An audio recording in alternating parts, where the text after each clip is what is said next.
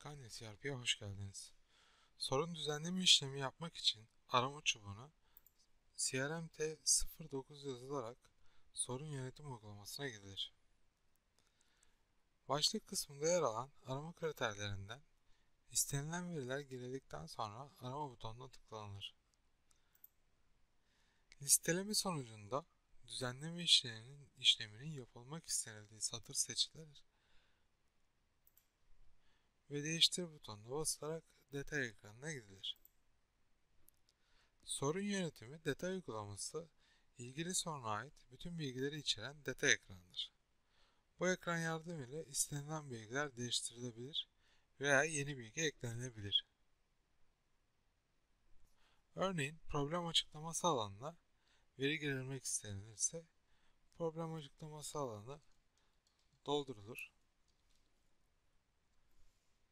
ve yapılan değişiklikler sonrasında kaydet butonuna basılarak kayıt işlemi gerçekleştirilebilir.